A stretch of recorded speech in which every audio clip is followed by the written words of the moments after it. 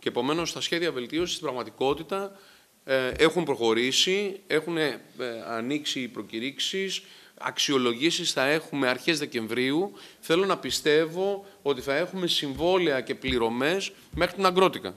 Άρα λοιπόν τα σχέδια βελτίωσης βαλτωμένα για 1,5 χρόνο ξεμπερδέψανε σε αυτό το τρίμηνο.